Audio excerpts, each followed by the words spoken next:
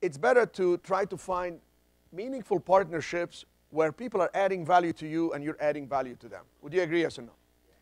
Uh, so, what would you expect your partner to add value? In what areas? Can they put, what can they put to add value to you? How about money? Would that make sense?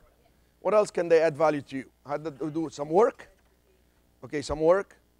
Um, um, yeah, so I'm going to say work, expertise.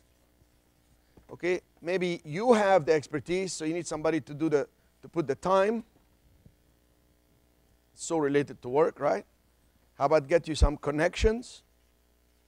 Like I worked with extremely incompetent people in the past in a business model, but they had the what? Connection. And they just knew the asset manager that were selling me a bunch of properties. You know what I mean? But they were very incompetent.